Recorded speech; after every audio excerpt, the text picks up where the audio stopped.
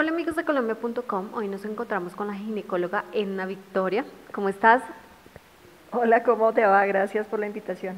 No, a ti muchísimas gracias. Bueno, ella nos va hoy a venir a hablar de un tema importante, sobre todo para las mujeres, pero eso no quiere decir que ustedes los hombres nos estén interesados. De esta forma van a entender un poco más a la mujer en su periodo menstrual, sobre todo durante la noche, que es donde eh, muchas veces eh, nos sentimos incómodas. Sí, eh, este tema de la menstruación y el sueño y eh, tener, digamos, como una vida saludable y dentro de esta vida saludable pues tenemos que tener un sueño reparador. Eh, todos los cambios hormonales que ocurren en la noche, en la noche, perdón, los cambios hormonales que ocurren durante la menstruación o para que ocurra la menstruación y durante el ciclo, pues a veces nos pueden afectar nuestro sueño en ese, en ese momento además de puramente la parte mecánica del asunto, ¿no? La logística que implica la menstruación en la noche cuando dormimos. Ok, bueno, eh, explicamos en general qué es la menstruación para aquellas mujeres que todavía eh, no saben bien o que tienen alguna pregunta sobre este tema. La menstruación es el inicio del ciclo ovárico, digamos. Es decir, cuando la menstruación exactamente es la caída de un tejido que está por dentro del útero, eh, que se cae, ese tejido se llama endometrio, y él se cae porque la persona no quedó embarazada. Ahí, una vez se cae el tejido, empieza a producirse nuevamente las hormonas en el, ovario. Eh, a medida que va creciendo el óvulo en el ovario, se van produciendo unas hormonas que llaman estrógenos, los estrógenos hacen que ese tejido que está por dentro del útero, que el endometrio crezca al mismo tiempo también. Y una vez el óvulo está maduro, él sale a la trompa, eh, eso se llama ovulación, ocurre a mitad del ciclo, más o menos 14 días después, y eh, se produce otra hormona en el ovario, se llama progesterona, y la progesterona hace que ese tejido ya no siga creciendo, sino que más bien produzca unas sustancias que van a ayudar a que en caso de que ese huevito fuera fecundado y llegue a implantarse ahí en el endometrio, pues pueda obtener ciertos nutrientes mientras eh, llega llorada a, obtener la sangre de la madre. Una vez ocurre, digamos que finalmente no hubo eh, fecundación, la progesterona ya no se sigue produciendo más y esa falta digamos que las hormonas empiezan a descender y el descenso de esos niveles hormonales hacen que ese tejido se caiga nuevamente y empieza otra vez el ciclo. Entonces la menstruación es un tejido que se cae, que está mezclado con sangre, que está mezclado con el moco que se produce normalmente en el cuello del útero y en la vagina. Por eso no es como cuando uno se corta la sangre como cuando uno se corta. Sí, es diferente. Bueno, tú hablabas de que em, es como en, algunos cuerpos es una fecha eh, puntual, o sea, el 28 o el 15. ¿Qué pasa en las mujeres que son irregulares? La regularidad en la menstruación, en el periodo menstrual, te lo da el adecuado funcionamiento del ovario. Si la menstruación es irregular, pues no es lo normal. A ver, la menstruación, el ciclo normal es de 28 días más o menos 4. Es decir, es normal que sea de 24 a 32 días y eso es normal, porque no somos relojes como tal, entonces en algún mes va a venir a los 29 días, después a los 28, a los 30, a los 27, a los 25, a los 29, eso es normal mientras esté en ese lapso. Pero si ya es una menstruación, un ciclo de menos de 20 días o un ciclo de más de 35 días durante dos, tres, cuatro ciclos seguidos, eso no es normal, porque hay que mirar cómo está funcionando el ovario o si es que están algunas otras alteraciones de los genitales internos produciendo esa alteración. Ok, bueno. Eh, hay mitos y verdades que surgen en este tema y son bastantes. Uno de ellos es, ¿qué tanto podemos dormir en la noche? ¿Qué tan bien podemos dormir cuando estamos con el periodo? Como te mencionaba inicialmente, estos cambios hormonales que hacen que se produzca la menstruación, eh, pues también van a influir en el sueño, van a influir en eh, nuestro estado de ánimo, van a influir eh, en que haya dolor mamario, de que haya eh, inclusive hay mujeres que retienen un poco de líquido y pueden subirse inclusive hasta un kilo de peso justo antes de que llegue la menstruación. Entonces todos estos cambios hormonales, dentro de esos cambios hormonales y dentro de esos trastornos que podríamos enmarcar dentro del síndrome de tensión premenstrual, podría llegar a haberse afectado el sueño, eh, ya sea porque uno empieza a despertarse y conciliar el sueño a veces no es tan fácil, volver a conciliar el sueño no es tan fácil, eh, o porque también la regulación de la temperatura en esta época del ciclo no es tan perfecta y entonces empieza uno de pronto a sentir mucho calor y por el calor se despierta uno. Eh, después de ese calor viene el frío, entonces uno se destapó, uno se arropó. Eso es mucho más frecuente durante la menopausia y es un síntoma propio de la menopausia, pero también puede ocurrir en, justo en esos días antecitos o en los primeros días de la menstruación, también pueden ocurrir estos trastornos. Bueno, hay otro tema y ahora existen una cantidad de toallas higiénicas eh, para la noche. O sea, uno debe, debería acostarse a dormir con una grande, larga o una normal de las que uno utiliza durante el día. Parte de lo que, digamos, de lo que hablábamos de, de la parte logística como tal, de cómo manejar eh, en esos días de la, menstruación, porque pues la menstruación no nos debe coartar para absolutamente ninguna actividad eh, que tengamos ni física, ni intelectual, ni de nuestra vida diaria, eh, mucho menos en el sueño. Entonces, Parte, digamos, de eso es que si el flujo menstrual es un poco mayor, eh, de pronto nos sentimos incómodas porque al otro día tenemos accidentes, entonces tenemos que cambiar sábanas, tenemos que cambiar ropa interior, en fin. Entonces depende mucho de la cantidad de la menstruación específicamente de cada mujer. Pero sí definitivamente al estar acostadas, por simple gravedad, el flujo menstrual tiende a irse hacia atrás. Entonces es mucho eh, es mucho más fácil si uno tiene una protección de una toalla higiénica que sea más larga, porque va a cubrir esos derrames que, que pasen hacia, hacia la parte de atrás y no vamos a tener accidentes y al otro día pues vamos a poder levantarnos, saciarnos y no estar perdiendo el tiempo ni estar en todos estos menesteres de que tuve esos accidentes en la noche, ni despertarme porque la menstruación está abundante y no tengo, tengo una toalla muy pequeña y no absorbe la suficiente cantidad. Bueno, hace un tiempo para acá eh, hemos visto en el mercado lo que son los tapones. ¿Qué tan bueno es o qué tan malo son? Como todo, no es ni bueno ni malo. Eh, todo, todas las cosas usadas correctamente pueden eh, facilitarnos la vida. El tampón es una de ellas. Y el tampón lo pueden usar inclusive mujeres que no han tenido relaciones sexuales porque su aplicador, eh, hay unos que vienen muy pequeños, y el aplicador puede pasar perfectamente a través del orificio natural del himen. Eh, los tampones nos permiten tener una mayor independencia, una mayor seguridad, eh, si somos muy activas o si hacemos deporte, no, no, no nos vamos a, digamos, a cohibir de hacer algún deporte o de nadar o de las vacaciones porque estoy con la menstruación.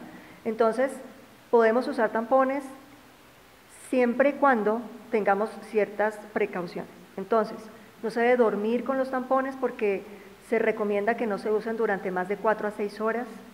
Hay que cambiarlos siempre cada 4 a 6 horas porque si no se aumenta el riesgo de un evento que se llama un shock eh, tóxico y eso puede llegar a ser mortal. Y como no se sabe cuál persona puede tenerlo y cuál no, pues entonces es mejor eh, evitarlo.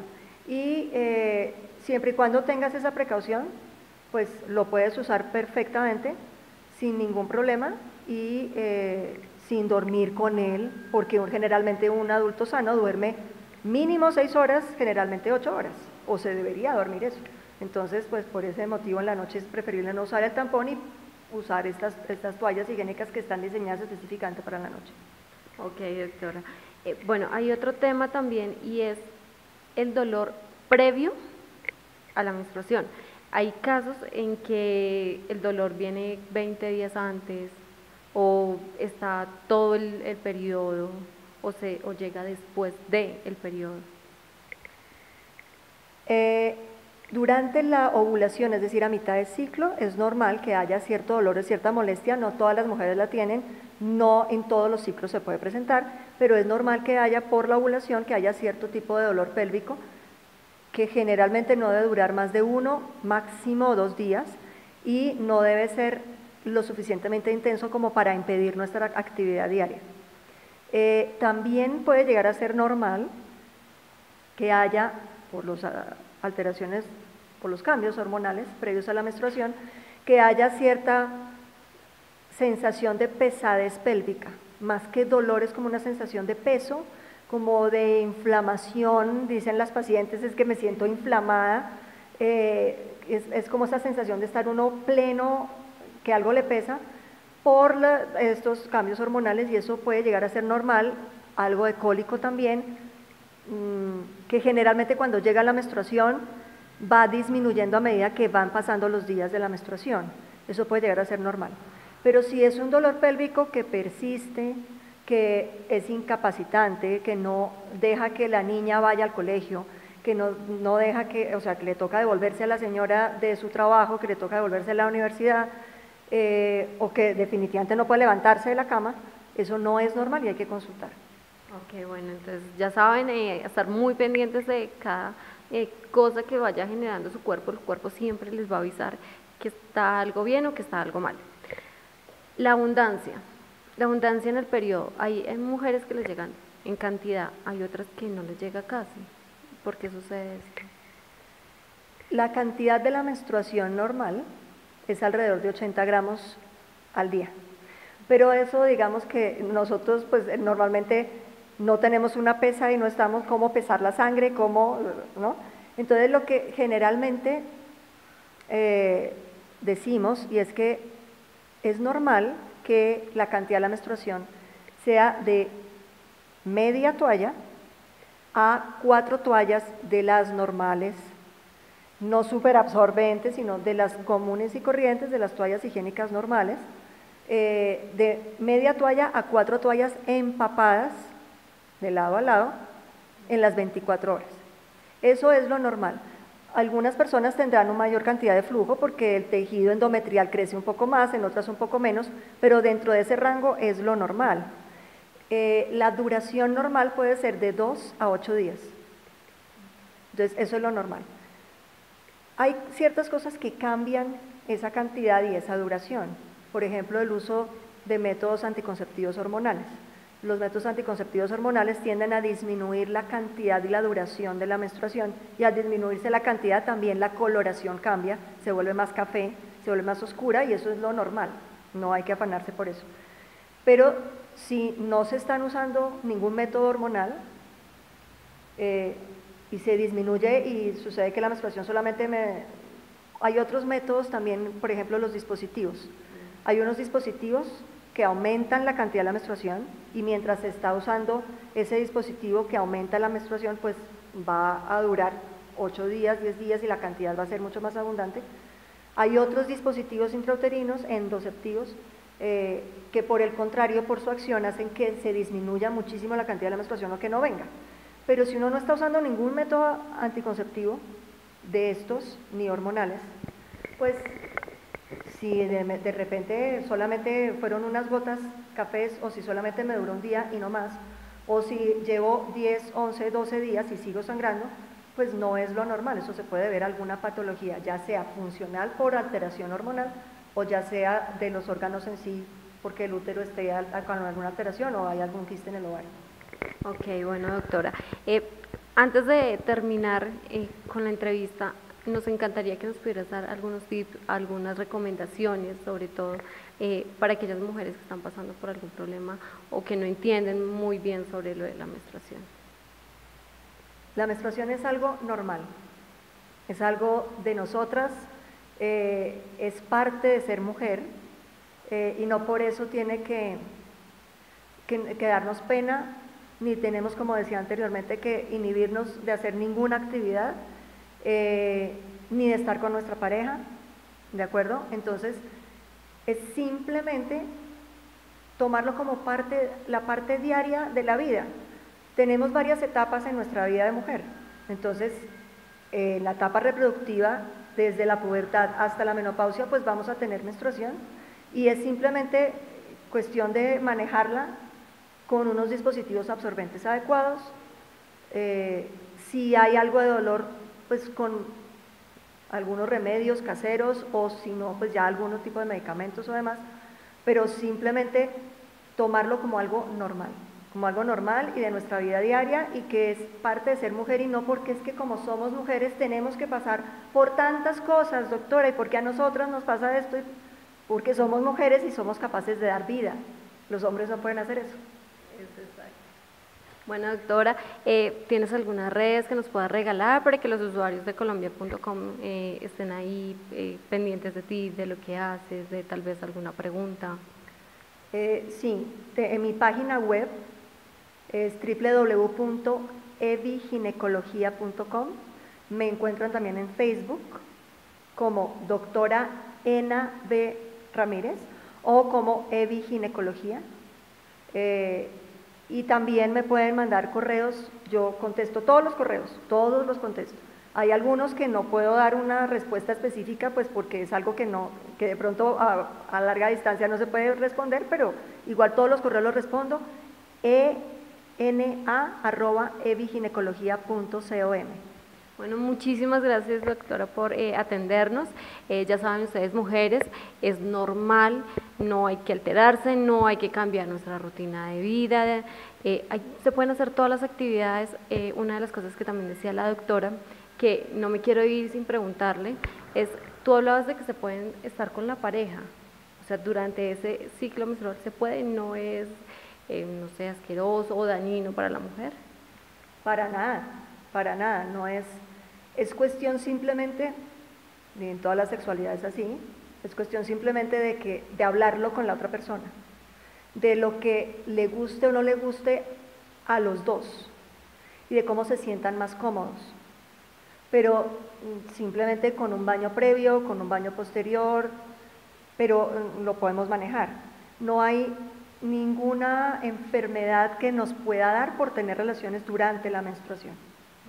Doctora. Y bueno, mujeres, eh, hombres, espero pues eh, les haya servido también a ustedes un poco es lo que nos habló la doctora para que entiendan un poco más a sus parejas, a su hermana, a su mamá durante este ciclo menstrual.